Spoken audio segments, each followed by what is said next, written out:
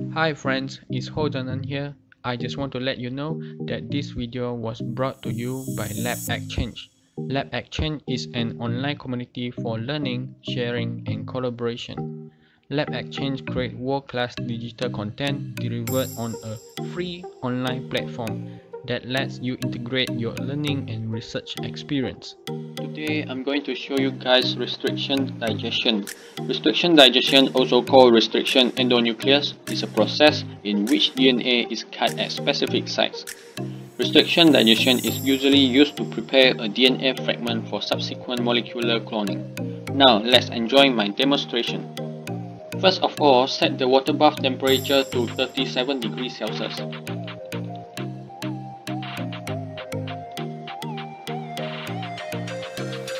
Second, select P20 micropipette and set the volume to 4 microliter. And attach a P20 tips. Now, move the restriction buffer to the empty tube rack and open it.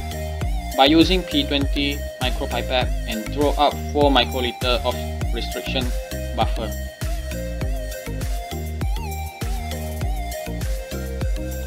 Open the K plus tube and transfer the restriction buffer into the K plus tube.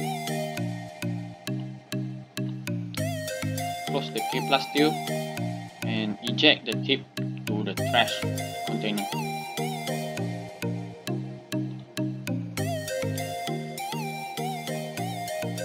Open the P20 tips box and pick a new tip Now, dispense 4 microliter of restriction buffer into K minus tube.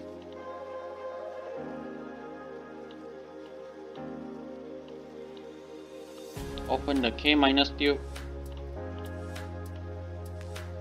and transfer the buffer into the K minus tube. Close it and eject the tip. Now select a new tip and transfer the restriction buffer 4 microliter to the A minus tube.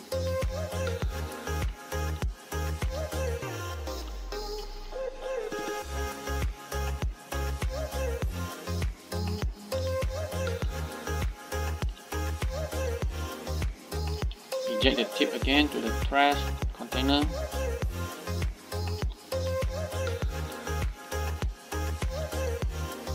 Now transfer 4 microliter of restriction buffer into the A minus tube.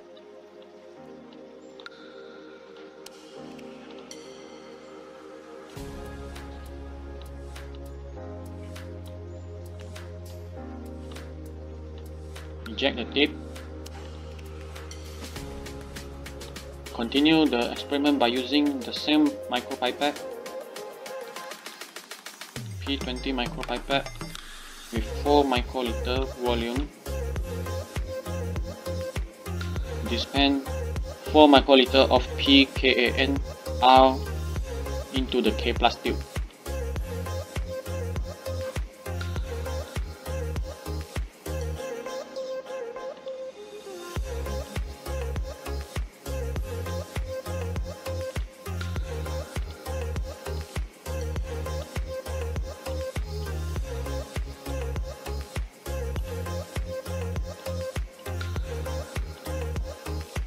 pick a new tip. Now transfer 4 microliter of PKNR into the K negative K minus tube.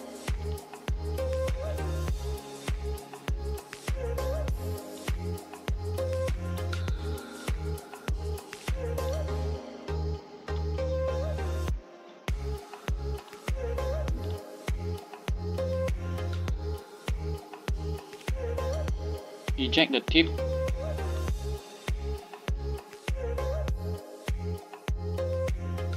Using a new P20 tip transfer PARA into the A plus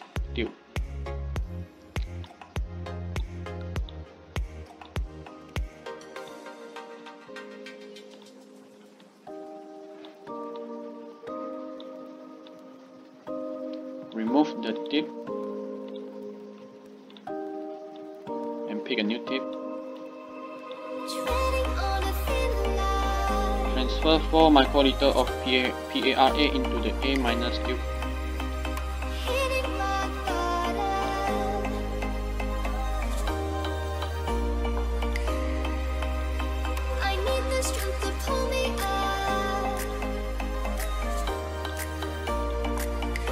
eject the tip and now change the P20 micropipette to 2 microliter volume pick a new tip.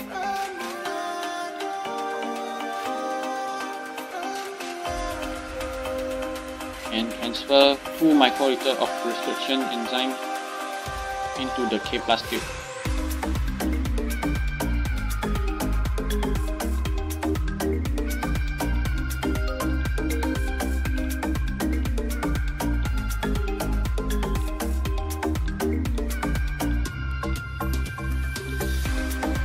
away, eject the tip.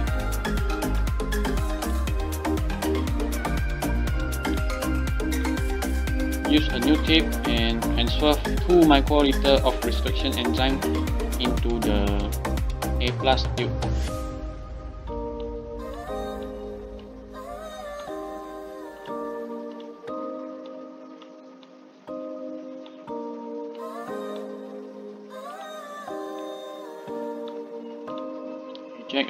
Tip take a new tip now transfer 2 microliter of distilled water into the A minus tube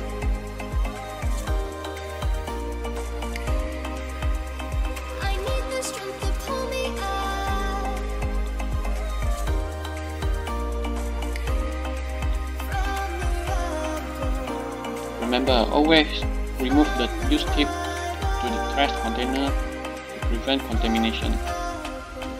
Now use uh, P20 new tips and transfer 2 microliter of distilled water into the K minus tube.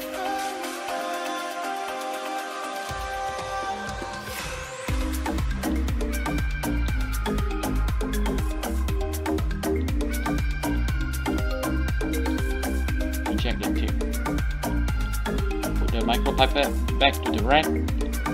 Next, open the microcentrifuge. Place the solution tube into the microcentrifuge. And always remember, check the balance before we start the centrifuge to prevent the machine from damaging. Close the microcentrifuge set the timer for 10 seconds and start the centrifuge. So after 10 seconds, remove the solution tube from the microcentrifuge. Move the solution tube to the right.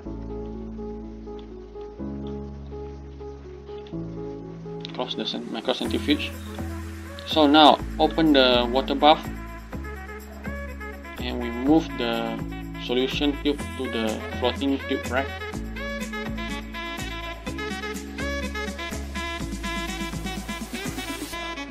And insert the floating solution tube rack into the water bath.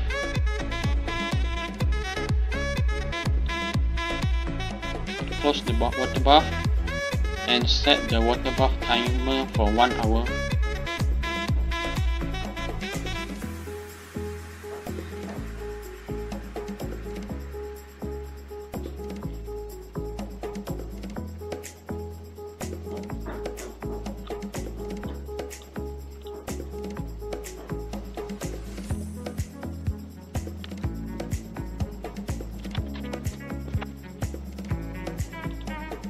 After one hour, we open the freezer, open the water valve and take the tube rack to the freezer.